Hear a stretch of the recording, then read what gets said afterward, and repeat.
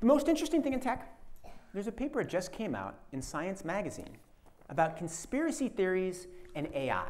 And it's pretty interesting because we generally think of AI and generative AI as something that injects misinformation into the ecosystem. We think of algorithms driving us down rabbit holes where we start to believe conspiracy theories.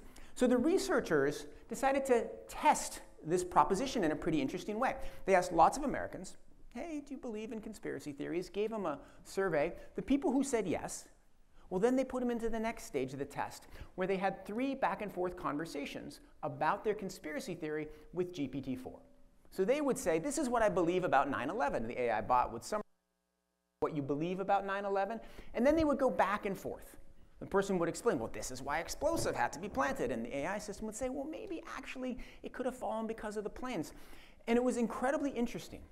It turned out that people's beliefs in conspiracy theories dropped substantially. And not only that, it stayed that way for multiple months. And not only that, it didn't just drop on the particular conspiracy theory that they debated with the AI bot, it dropped across conspiracy theories. So why is that? Well, AI systems are pretty good at this, right? They have lots of information, they can respond very quickly. They're infinitely patient. It is hard for us talking to our crazy uncle or our crazy cousin about what actually happened on 9 11. The AI bot doesn't care.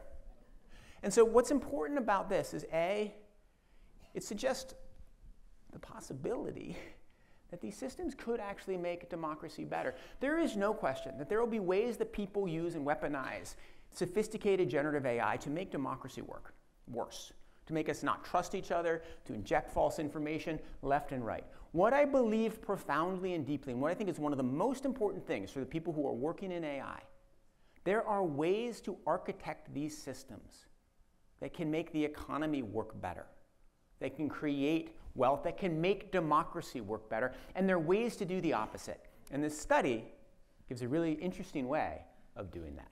That's the most interesting thing in tech. I'll see you later.